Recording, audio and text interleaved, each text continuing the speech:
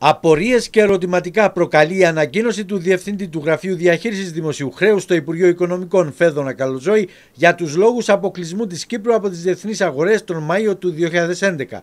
Τρεις μέρες μετά την κατάθεσή του στην Ερευνητική Επιτροπή για την Οικονομία, ο κύριος Καλοζόη εξέδωσε ανακοίνωση στην οποία αναφέρει ότι ο αποκλεισμός της Κυπριακής Δημοκρατίας από τις ξένες αγορές δανεισμού δεν έγινε από τους οίκους αξιολόγησης, αλλά από τους ίδιους τους διεθνείς επενδυτές και ενώ η επιστοληπτική αξιολόγηση της Δημοκρατίας ήταν ακόμη σε καλά επίπεδα παρά τις υποβαθμίσεις. Ο λόγος του αποκλεισμού από τους ξένους επενδυτές ήταν η μεγάλη έκθεση της οικονομίας στους κινδύνους της ελληνικής οικονομίας. Οι κίνδυνοι δεν περιορίζονταν στην κατοχή ελληνικών ομολόγων, επεκτείνοντας το δανειακό χαρτοφυλάκιο και γενικά στις δραστηριότητες των Κυπριακών τραπεζών στην ελληνική οικονομία.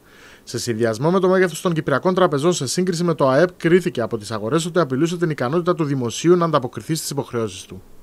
Ωστόσο, καταθέτοντας την Ερευνητική Επιτροπή, είχε αναφέρει πως αμέσως μετά τον αποκλεισμό της Κύπρου τον Μάιο του 2011 και έξι μήνες πριν από το κούρεμα του ελληνικού χρέους, με επιστολή του ημερομηνίας 25 Ιουλίου 2011 προς τον Γενικό Διευθυντή του Υπουργείου Οικονομικών, ζητούσε την άμεση προσφυγή στον μηχανισμό στήριξης, χωρίς να κάνει καμία αναφορά σε κινδύνους από τα ελληνικά ομόλογα που κατήχαν οι Κυπριακές τράπεζες, έχοντας την εκτίμηση ότι η Κύπρος οδηγείται από τότε έξι μήνες πριν από το κούρεμα των ελληνικών ομολόγων με μαθηματική ακρίβεια σε άτακτη χρεοκοπία. Τον Ιούλιο του 2011 η Κυπριακή οικονομία διεθνώς είχε την εικόνα ότι ήταν σε πορεία ανεξέλεκτης χειροκοπία. Παρακολουθούσαμε τα μετρητά του κράτους κάθε μέρα να λιγοστεύουν και είχαμε για πρώτη φορά υποψία για στάση πληρωμών.